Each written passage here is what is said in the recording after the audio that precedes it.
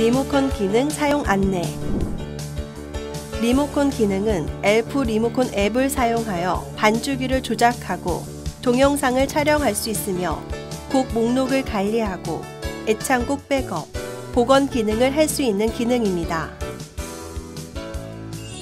반주기와 연결 방법 스마트폰의 플레이스토어에서 엘프 리모컨 앱을 검색한 후 설치해 주세요. 반주기 환경 설정 리모컨 메뉴에서 리모컨을 ON으로 변경하고 내 장치 이름을 확인해 주세요. 스마트폰에서 엘프 리모컨 앱을 실행하고 반주기 연결을 터치하세요. 반주기 연결을 선택하고 반주기 연결 화면 하단에 찾기 버튼을 눌러 내 장치 이름을 찾아 터치하면 상단 등록된 디바이스에 등록됩니다.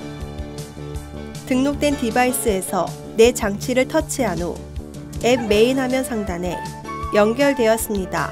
라는 메시지가 나오면 연결이 완료됩니다.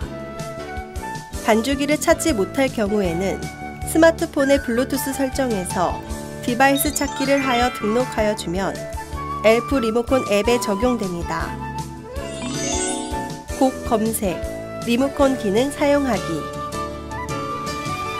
엘프 리모컨 앱에서 반주기 연결을 한 다음 메인 화면에서 곡 검색을 선택합니다.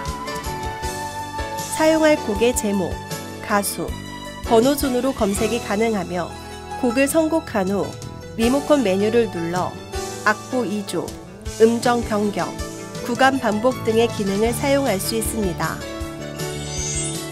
엘프 리모컨 앱을 이용한 반주기 백업 관리 엘프 리모컨 앱에서 반주기 백업 관리를 눌러 스마트 EQ, 마이크 이펙터, 기타 이펙터, 애창곡 등의 설정을 리모컨 앱으로 불러오거나 리모컨에 있는 백업을 반주기로 내보낼 수 있습니다.